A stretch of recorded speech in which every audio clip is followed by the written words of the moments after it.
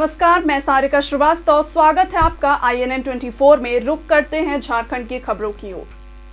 गिरिडीह जिला के जमुआ के आजसू कार्यकर्ताओं और नेताओं की समूह के साथ शनिवार को आत्मदाह करने जमुआ चौक पहुँचे। आजसू के प्रखंड अध्यक्ष गौतम राणा को स्थानीय प्रशासन ने वार्ता के लिए मना लिया।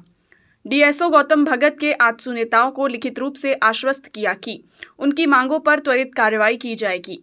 अब देखना यह दिलचस्प होगा कि लूट खसोट की पर्याय बना जन वितरण प्रणाली डीलरों पर विभाग कोई कार्रवाई करती है या केवल आत्मदाह टालने के लिए चक्रव्यूह रचा गया?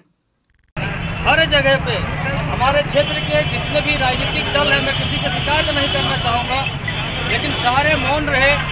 हमारे यहाँ का जो वर्तमान विधायक है, उसने भी कभी भी किसी तरह का ज़रूरत नहीं समझा क्षेत्र में जाने के लिए कि मैं राशन के लिए किसी भी पदाधिकारी को बोले और राशन एक ऐसा चीज़ है जो उनको भी समझ में आनी चाहिए कि क्षेत्र घूमे। आज भी बहुत सारे लोग हमारे क्षेत्र में है जो राशन पे चावल के लिए इंतज़ार में रहते हैं। वो चावल जाते तो उनके बाल बच्चे खाना खाते हैं।